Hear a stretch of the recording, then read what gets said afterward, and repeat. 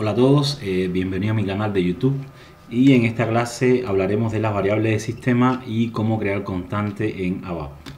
Bueno, para los que no me conocen, eh, mi nombre es Marlon, este es mi sitio web, marlonfalcon.cl, pueden ver mi currículo acá. Y eh, en esta clase trabajaremos con este libro que está acá, por favor descárganlo que está en 123app.cl, acá donde dice tutoriales de SAP y descarguen este libro dando clic sobre el libro. Yo como lo tengo descargado, lo voy a abrir, lo tengo en descargas y lo voy a abrir.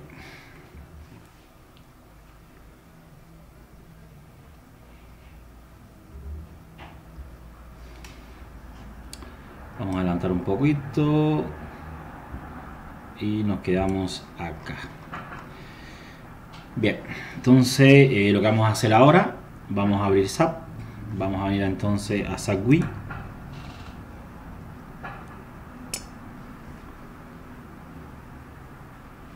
Vamos a dar doble clic sobre el servidor. Vamos a poner entonces el usuario y la clave.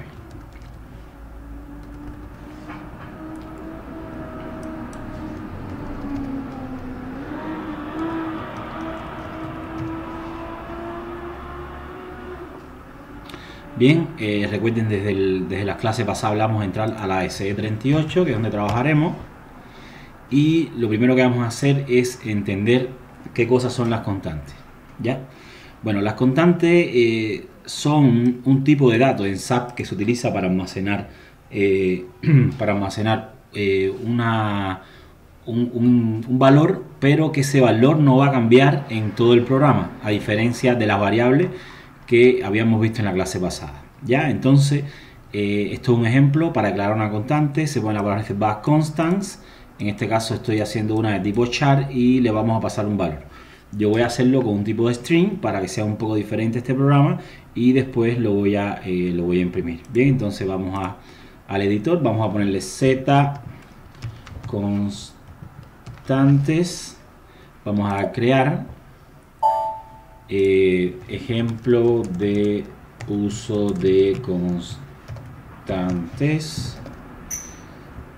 Bien, aquí vamos a arreglar acá. Y acá nos falta que pongamos el programa ejecutable. Vamos a grabar. Aquí nos piden el paquete. Eso lo vamos a hablar un poquito más adelante. Vamos a seleccionar entonces objeto local. Bien entonces eh, ya tenemos estamos acá. Entonces le voy a poner const. Fíjate como ya el ABAP me, me pone automáticamente constantes. Ya const doy tap, me lo, me lo, pone, ya, y una vez que me lo pone, entonces voy a poner dos puntos y le voy a poner entonces eh, mi constante, entonces como una local, mi constante que va a ser de tipo string y eh, va a tener un valor, value vamos a poner ahora comilla y le vamos a pasar entonces mi constante. Ese, es, ese va a ser el valor de la constante. Bien entonces ahora eh, vamos a, colocar un write vamos a poner dos puntos. Eh, vamos a poner slap. Vamos a poner entonces eh, mi valor es dos puntos. Y recuerden para concatenar usamos la coma una vez que colocamos la coma, le ponemos entonces L guion bajo my const my const cierto vamos ahora a poner punto vamos a eh, verificar el programa y como pueden apreciar no hay ningún tipo de error. Bien ahora vamos a poner un, comentario acá para recordar cómo lo hacemos con asterisco y le ponemos hola esto es una impresión Bien, vamos a seguir repasando lo que hemos hecho en las clases pasadas. Ahora eh, recuerden la palabra skip para que se utilizaba, era para hacer un salto de línea. Skip 12 eh, y después vamos a colocar otro write. Voy a copiar esto que está acá, lo voy a repetir acá abajo y le voy a poner entonces eh, mi valor 2 ya y entonces en este caso voy a verificar. Ahora vamos a guardar para guardar ese programa Vamos a activar, recuerden que lo primero que tenemos que hacer para ejecutar un programa es activarlo. Y después vamos a compilarlo utilizando F8 o yendo a este icono que está acá arriba. Bien, entonces me sale mi valor es mi constante y el valor 2 es mi constante. Ahora, si yo trato a una constante, por ejemplo, a esta constante que se llama, vamos a dar un poquito de espacio, L might const, si yo trato de asignarle un valor, vas a ver qué pasa.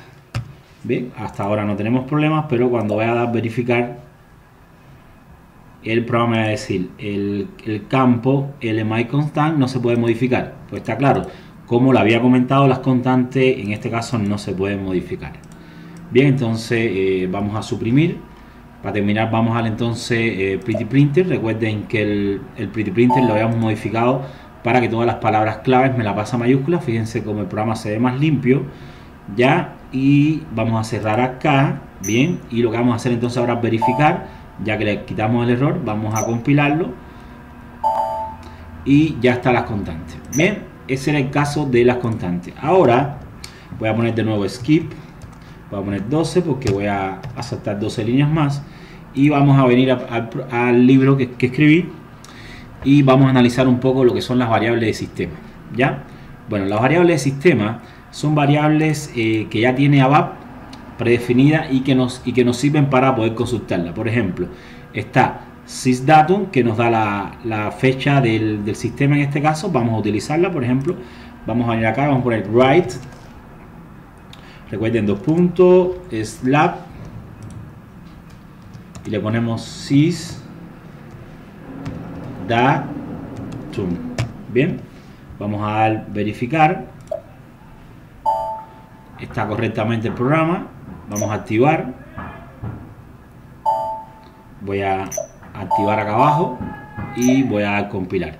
Como pueden apreciar, 11 mes 8 de 2016. Si vemos aquí la fecha del sistema, eh, de hecho, yo tengo 10 de agosto. Claro, hay el, este es la hora del servidor en este caso ya por tanto el servidor en donde está colocado tiene ya son más de las 12 de la noche por tanto estamos a día 11 bien super vamos a ver entonces otras variables. Voy a copiar por ejemplo el mandante para que la conozcan. Voy a copiar todo esto que está acá. Voy a pegarlo.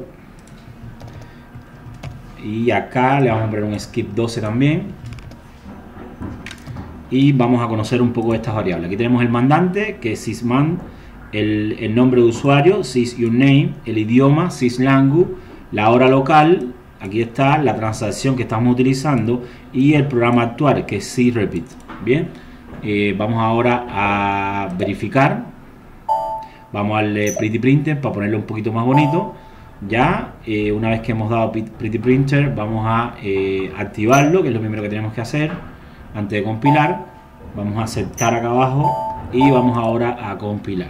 Bien, si bajamos un poco, tenemos el mandante 800, recuerden que el usuario es este que estoy utilizando, el idioma, la hora local, la transacción, fíjense la hora que son las 2 de la mañana, por eso es que brincó acá para el día 11. La transacción es la SE38 y el programa actual que estamos trabajando se llama ZContant, que recuerden que así lo habíamos hecho. Bien chicos, eso es todo por este video y nos vemos en el próximo. Chao.